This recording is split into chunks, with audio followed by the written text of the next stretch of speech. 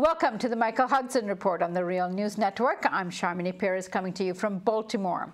A ceasefire in eastern Ukraine has been agreed to following a marathon all-night 17-hour negotiation between Russian President Vladimir Putin and Ukraine President Petro Poroshenko. They were flanked by other European leaders keeping vigil. Russia and Ukraine may have many differences, but what they have in common is a looming economic crisis, with oil prices taking a dive on the Russian side and a very expensive war they were not counting on on the Ukrainian side. Joining us now to talk about all of this is Michael Hudson. He is a distinguished research professor of economics at the University of Missouri, Kansas City. His upcoming book is titled Killing the Host, How Financial Parasites and Debt Bondage Destroyed the Global Economy. Michael, thank you as always for joining us. Good to be here. So, Michael, in a recent interview published in the National Interest magazine, you said that most media covers Russia as if it is the greatest threat to Ukraine. History suggests that IMF may be far more dangerous. What did you mean by that? Well, the terms on which the IMF make loans, uh, first of all, are based on austerity. The terms require more austerity and a withdrawal of all the public subsidies. Now, you have the Ukrainian population absolutely devastated. Uh, the only result of the IMF's austerity uh, program, that uh, the conditions that it's laying down for making loans to Ukraine, is you, you have to uh, repay the debts, but you don't have the ability to repay their debts. So there's only one thing way to do it, and that's the way that we've told uh, Greece and other countries to do. You have to begin selling off uh, whatever you have left of your public domain, uh, or you have to have your leading oligarchs uh, take on partnerships uh, with American or European uh, investors so that they can buy out into the monopolies uh, in the Ukraine. So essentially, uh, the IMF is, has a two stage uh, one-two punch. The one, the punch number one is here's the money. Now you have to repay us. Uh, after cutting back public spending and causing a depression, the two punches. Oh, you can't pay us. I'm sorry that all of our projections are wrong, and the IMF has been wrong on Ukraine year after year, almost as much as it's been wrong on Ireland and uh, on Greece. So uh, now the real problem is what is Ukraine going to have to sell off to uh, pay the foreign debts that it gets for having uh, waged the war that's devastated the economy. Well, the main things that the foreign investors want are Ukrainian farmland. Uh, Monsanto has been buying into Ukraine, but Ukraine has a law against alienating its uh, farmland and agricultural land to foreigners. And a matter of fact, its law is very much the same as what the Financial Times reports that Australia is wanting to do today to uh, block uh, Chinese and American purchase of farmlands. Uh, the IMF's position is you have to dismantle public regulations against uh, against uh, foreign investment, and you have to dismantle consumer production and environmental protection regulations. So, the, in other words, what is in store for Ukraine is the, a neoliberal policy that's guaranteed to actually uh, make it even worse. And in that sense, finance is war. Finance is the new kind of warfare. Uh, using uh, finance and uh, uh, forced sell-offs in the IMF uh, is a new kind of battlefield. So it's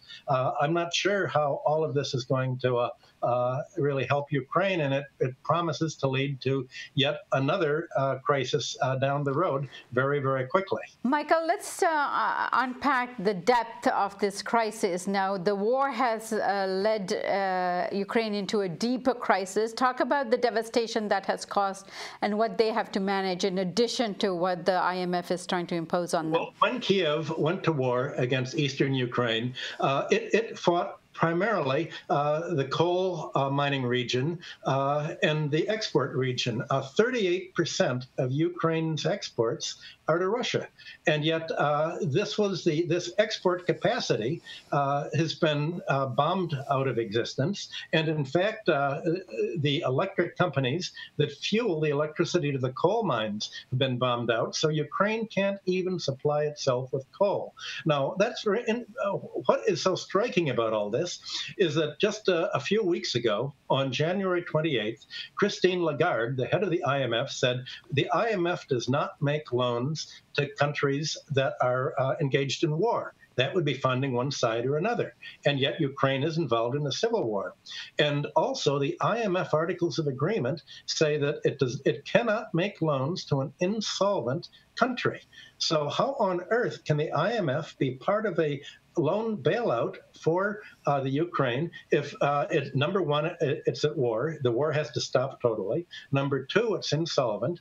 Uh, the only solution is uh, uh, that Ukraine will somehow scale back its debts to private uh, investors, and that means a lot of contrarian hedge funds investors. So again, the Financial Times today has an article uh, showing that uh, the uh, an American investor has seven billion uh, of Ukraine debts and wants to speculate in it. How is Ukraine going to treat the speculators?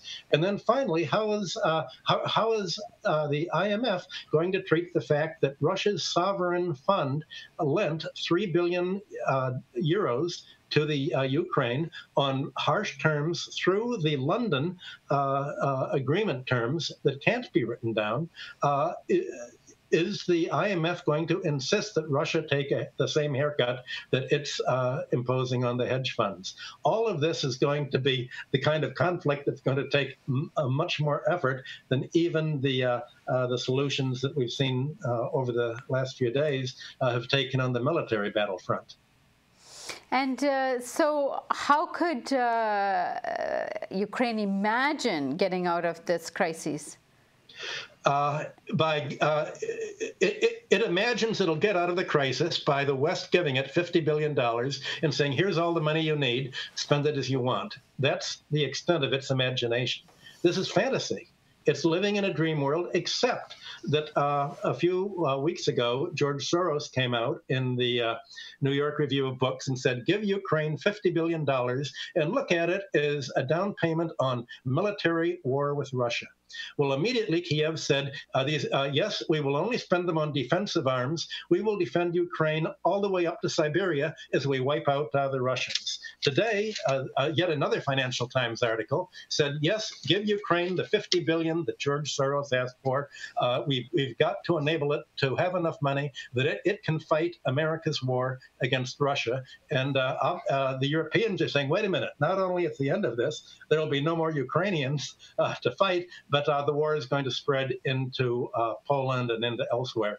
Because if the money that's given to Ukraine is really for what uh, the Obama administration and Hillary and Soros are all pressing for to go to war with Russia, then Russia's going to say, okay, if we're being attacked by foreign troops. We're going to have to not only bomb the troops, but uh, the airports are coming in, the railway stations are coming in. We're going to extend it towards Europe. And apparently, there are reports that Putin told Europe, look, you have two choices before you. The one choice Europe, uh, Germany, and Russia can be a very prosperous area with Russia's raw materials and uh, European technology. We can be the most prosperous area in the world, or you can go to war with us and uh, you can be uh, wiped out. Take your choice. Michael, complex and interesting times uh, in Ukraine as well as uh, at the IMF. Thank you so much for joining us.